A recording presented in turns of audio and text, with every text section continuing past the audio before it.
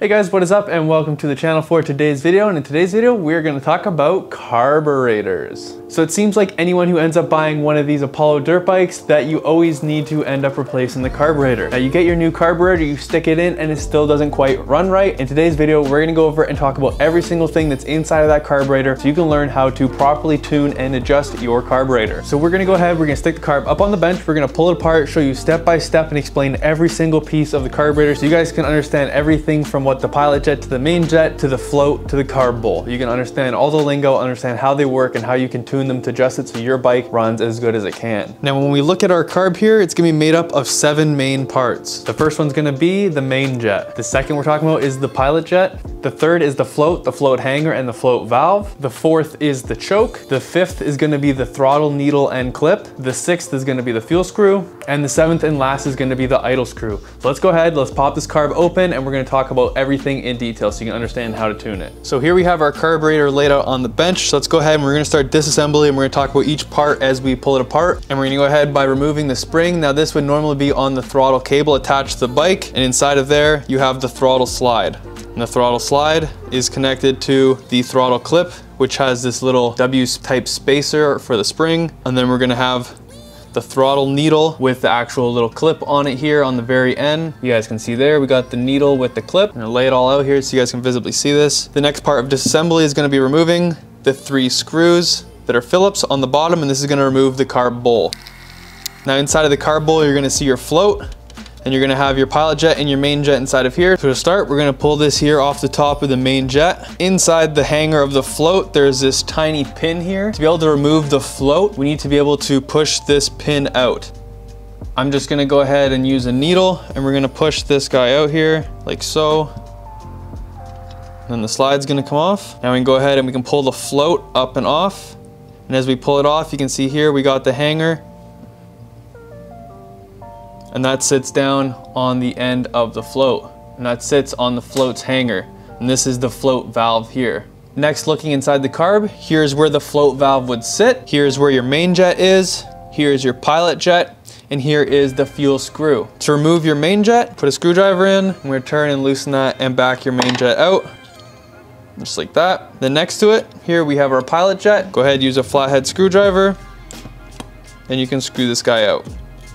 Now that is your carb fully disassembled. Now all the parts are removed. You can go ahead and pull this guy out here, which is what holds the main jet, um, but you don't need to do that. This is gonna be how you're gonna go over your carb. If you need to clean your carb out, you're gonna wanna pull it down to this level and clean out all these holes here in the carb. If you have bogging issues on your dirt bike, this is what might be your problem is these holes might be clogged up as well as your both your pilot jet and your main jet might be clogged. Next, here we have on the side of the carburetor, we have our idle screw. This is gonna change our idle. Now the first part of the carburetor that we're talking about when we're talking about tuning, now this is your main jet here. It's very tiny, but very important. The main jet is what provides the fuel at 80% to wide open throttle. The fuel flows up and through the needle jet into the throat of the carburetor. When changes in air density are significant, the main jet will need to be replaced. Now when we talk about going up in size in jet, you guys can see here, we got a whole bunch of different pilot jets, which are these long skinny guys. And then we got a whole bunch of different little main jets here. So on the side of them, I know you won't be able to see this, but there's gonna be little tiny numbers on the sides of the jets, and that's gonna read how much fuel flows out through them. So the higher the number, the more fuel flows through it. So if your bike is running lean, you need to up your size of your jet. If it's running rich, you can downsize the size of your jet. So if you are having issues with throttle response at wide open, likely the culprit is gonna be your main jet, and you're gonna need to change that guy out. The second piece we're gonna go over and talk about is the pilot jet. Now what does the pilot jet do? The pilot jet handles the mixture from idle to 15 to 20% throttle. Air comes in through the front of the carburetor where the choke is, drawing up fuel through the pilot with a vacuum that is created as the air flows through the pilot circuit. The pilot circuit is just the innards of the carburetor. So if you are having issues with idling uh, or the bike starting, the culprit might be your idle jet, otherwise known as the pilot jet. Now the next couple pieces we're talking about is the float and the float hanger and valve. So these black pieces here is what is known as the float. This piece here with the little tiny hanger of a tongue on it. This is what's known as the hanger, and this piece here is what's known as the valve. Now this is what controls fuel from the tank into the carburetor. So as this tiny valve goes down into this black hole and plugs it, that's what's stopping or allowing fuel to come from your fuel tank into the carburetor. The float is designed to automatically regulate the supply of fuel into the carb. As it suggests by its name, the float, it needs to float in fuel. So it's usually made of hollow plastic or metal or fuel resistant foam. The float hanger controls how far down the float valve will sit down in the pilot circuit. Here's our pilot circuit. The float valve, which sits on this hanger, is moved by the float. Depending on the bend of the float hanger will depend on how far this sits down.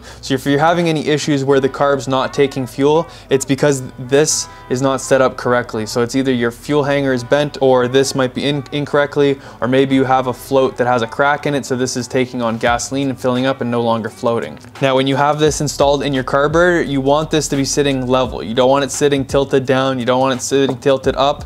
You need this thing to be sitting at a, a flat horizontal level and that's gonna actuate correctly and uh, release the right amount of fuel into your carburetor. And as the fuel rises inside the bowl, the float will rise and shut off. Boom, and it hits that level and then it's gonna shut off fuel supply to the carb, which it's gonna shove this little tiny needle valve up into the pilot circuit, which is gonna be what shuts off the fuel flow. Once the bowl is full, the float will limit fuel draw from the fuel tank. Now the next piece we're gonna go over and talk about is the choke. So what is a choke? It's simply a way to actuate the butterfly valve that's in the front of the carburetor. Now what does the butterfly valve itself do? This is what controls airflow into the carburetor. So air goes in through the choke and the float side and out through here into the intake and into your intake port on the engine. The choke valve reduces the pressure inside the throat which causes a proportionally greater amount of fuel to be pushed from the main jet of the combustion chamber during cold running temperatures. When the choke is turned on, it has the butterfly valve closed all the way to make it very, very rich to help the bike start up. Now, once the bike's running, you need that air to keep it from stalling out from being too rich. So when you open the choke, it's gonna open that butterfly valve to allow all the airflow to mix in with all the fuel you have coming from the main jet and the pilot jet. Now the next piece we have is the needle and clip. We can see there are a whole bunch of little grooves on the end of this needle and those grooves are where this C-clip can snap into. Now this needle is what controls your throttle response when you snap your wrist and how the throttle slide actuates inside the top of the carb. So normally this pin sits down inside of here and when that sits down in here and you pull the throttle, this is sliding up and down in the top of your carburetor here. So as you slide up and down, the hole that's inside the carb is gonna become plugged, not plugged, plugged, not plugged, as you slide it up and down through the throttle slide there. This is what's controlling your revs. Now the needle is tapered and has a smaller diameter at the bottom than it does at the top. As the needle's position changes within the jet up or down, the opening increases or decreases because the diameter of the taper changes within the fixed diameter of the nozzle. This is how fuel is regulated at certain throttles. So if the slide is all the way up at wide open throttle, the smallest diameter is inside the needle jet. Now this is where your adjustments come in. If you take this clip off and move it up or down on this needle, it's gonna change how your air comes in when you're wrapping on the throttle. So taking the clip and moving it up is gonna lower the needle, which is gonna make it leaner. Moving the clip down will move the needle up, making it richer. So this can help if you have say you go to, you're rolling on the throttle and then you snap it at the end and it's bogging, this could be have to do with the fact that your clip is in the wrong position. Now a quick tip when someone says to lower your needle, that just means to have a leaner setting. And when someone says to raise the needle, that means to have a richer mixture. Now this is fine tuning in your carburetor in areas that you ride the most. Now how often are you riding at wide open throttle? Not that often, but how often are you riding at 70% throttle? Pretty often, and that's where tuning your needle is gonna come into play. Now the next piece is gonna be your fuel screw. Now this fuel screw is located on the bottom. Now if you're looking at your Apollo RFZ, it may look slightly different as I have an extended fuel screw that sticks out. Yours is gonna be countersunk in this piece, but that is where your fuel screw is, and this is gonna be